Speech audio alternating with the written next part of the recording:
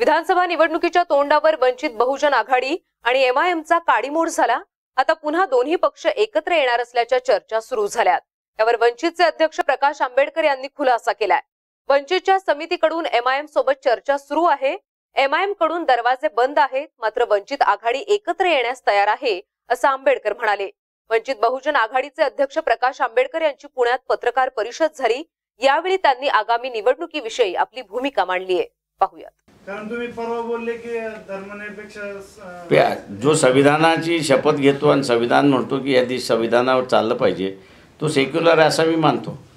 Sir Imtiaz Jaleel म्हणाले की तुम्ही ओएसीचा फोन उचलत नाही. तुम्ही ओएसीचा फोन उचलला तर हा प्रश्न मिटू शकतो आणि गरज पडली तर मी तुमची माफी मागायला तयार आहे.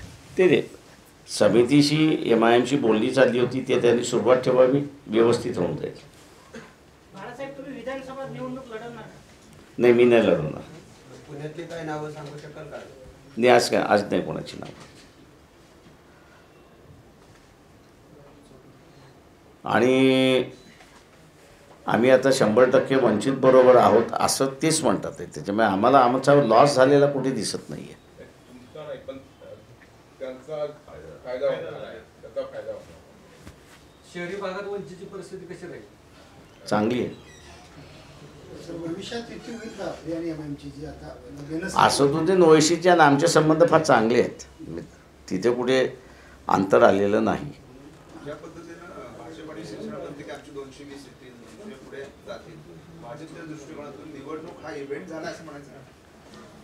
त्यांनी इव्हेंट केलेला आहे. आणि म्हणूनच त्यांनी उत्सव हा शब्द वापरलेला आहे. इलेक्शन उत् इलेक्शन म्हणजे एक उत्सव असं त्यांनी म्हटलेलं आहे. आम्ही इलेक्शन म्हणजे पुढच्या पाच वर्षामध्ये राजकीय पक्ष लोकांसाठी काय करणार? हा कार्यक्रम ठेवणारा पार्टी आहे. आणि ते त्याच पद्धतीनं राहिलं पाहिजे असं मी त्या ठिकाणी बघतो आभारी आपला सगळ्यांचा. दरम्यान यावेळी राज्यातील काही भागात वीज निर्मिती झाल्यावर ते पाणी समुद्रात सोडलं जातं. हे अनेक वर्षांपासून होत आलंय. हे पाणी दुष्काळी भागात घेऊन जाणार आहे.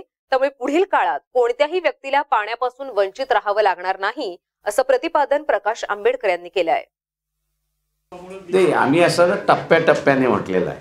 हे बरोबर आहे आपलं म्हणणं की साडेतीन हजार वीज ही कोयना आणि टाटा निर्माण करते. इमिजिएटली बंद जरी केली तरी त्याची असणारी चिंता करण्याची गरज नाही कारण का रिपोर्ट आम्ही दाखवलेला आहे की पीक आवर्समध्ये देशामध्ये पीक आवर्समध्ये जी काही जनरेशन आहे हे generation two point five six पर्सेंटनी additional आहे. म्हणजे पीक आवर्समध्ये वापरल्या जात नाही. आणि लीन पिरियड ज्याला आपण म्हणतो त्या लीन पिरियडमध्ये वीज अधिक जी आहे ती फोर पॉईंट सिक्स पर्सेंट एवढी आहे. त्याच्यामुळे विजेचा जो तुटवडा मागच्या वेळेस होता तो तुटवडा मागच्या दहा वर्षामध्ये भरून काढण्यात आलेला आहे. आणि ॲडिशनल वीज आहे अशी परिस्थिती आज